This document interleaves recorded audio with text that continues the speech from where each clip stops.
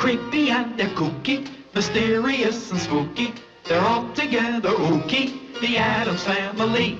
The house is a museum when people come to see them, They really are a scream, the Addams family.